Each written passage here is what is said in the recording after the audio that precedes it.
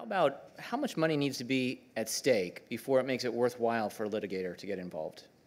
Well, you know, in uh, this will this will probably seem fairly obvious, and it it kind of goes back to one of the comments uh, that Ken made about you know a gross participation. But obviously, the amount of uh, leverage that you have in negotiating with the studio determines an awful lot. Um, there have been times when we have gotten involved in litigation where we you know, where I represent somebody who uh, is very highly valued by the studio, that can often make my job uh, that much easier.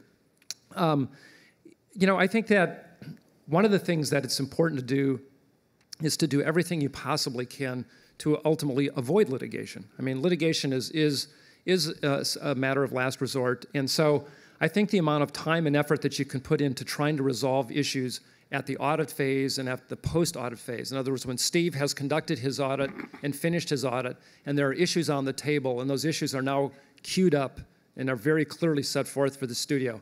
That's a great time to try to resolve things and to try to avoid litigation. I don't think anybody up here, and, and Steve can comment on this since he, he really does this all the time nobody goes into this looking to litigate with the studios. I mean, I can tell you it is not, uh, not always for the, it's not for the faint of heart to litigate. You know, studios are very aggressive in litigation. Um, they will do what they can to uh, make it an unpleasant and you know expensive experience for you.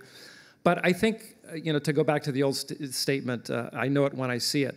I think with respect to when is it worthwhile to litigate, is there has to have been a good, solid audit conducted by Steve there has to be dollars that are clearly on the table. And there has to be an assessment that the studio has taken what is what appears to be and what can reasonably claim to be an unreasonable position. And you know, it, it's it's go go back to, to, to Steve's comment about being in front of a jury in, in Riverside County. Um, you know, there's nothing, you, you really can't appreciate this process until you've stood in front of a group of people and, and picked a jury and, and had people ask questions about the types of things that would seem, you know, for those of you who obviously who are in the entertainment business, even at the beginning to the end, the types of things that you take for granted. Having said that, in my experience, juries typically and almost always get things right. And that's one of the reasons why the studios are working as hard as possible to keep things away from juries and put them into arbitration, where they have arbitrators who um, they know very well.